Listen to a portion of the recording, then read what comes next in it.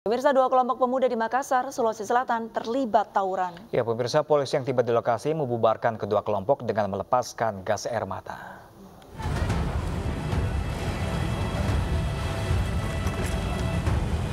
Tawuran antar dua kelompok pemuda di Jalan Kendea, tiga kota Makassar terjadi. Tawuran terjadi di tengah permukiman padat penduduk warga.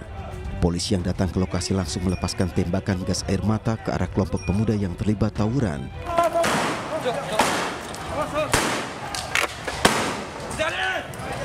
Tidak hanya sekali beberapa lontaran gas air mata dilepaskan oleh petugas. Di lokasi petugas menemukan busur rakitan yang digunakan oleh pemuda yang terlibat tawuran. Setelah sampai di lokasi, eh, kedua kubu sempat dibubarkan dengan menggunakan eh, gas air mata. Kemudian eh, dari kedua belah polsek baik Bontoala maupun Talo melakukan pemantauan atau melakukan himbauan ke masyarakat agar tetap menciptakan kondisi masyarakat Untuk menghindari bentrokan susulan, polisi terus berjaga di lokasi hingga kondisi kembali normal. Dari Makassar, Sulawesi Selatan, Leo Muhammad Nur, iNews melaporkan.